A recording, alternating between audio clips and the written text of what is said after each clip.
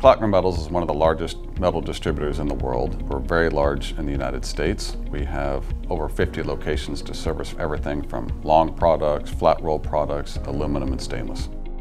So the Amada EMK 3610 is an electromagnetic machine. The benefits of this machine, 30 ton, 60 inch throat, it does have the brush bed, and so that gives you the ability to also run the light gauge, but up to maybe a little thicker uh, material on those.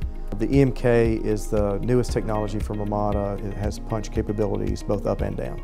We have programmers up front that use the customer's drawing or AutoCAD information to, to lay out the flat and, and, and write the program, assign the tooling. All of that's fed to the machines through our in-house computer system. We can still run the customer's cosmetic material on this machine, the stainless steel with the pre-paint without scratching it. Uh, the MK has fewer moving parts, uses less electricity, there's no chiller so it doesn't generate heat in the building. With the brush bed, Predominantly there we'll run stainless steel or pre-paint. You might run highly cosmetic air conditioning parts, air conditioning unit, so the cabinet for the air conditioning unit, or maybe you run food service parts there, stainless steel food service, lighter gauge that are cosmetic that you wouldn't want to scratch. We have eight of the MKs in the building, helping keep our costs down, helping keep the customer's costs down, and being competitive in the market.